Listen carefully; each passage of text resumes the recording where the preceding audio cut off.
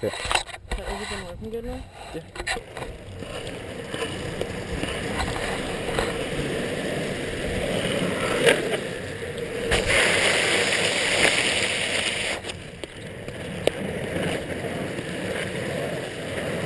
Ja. Yeah.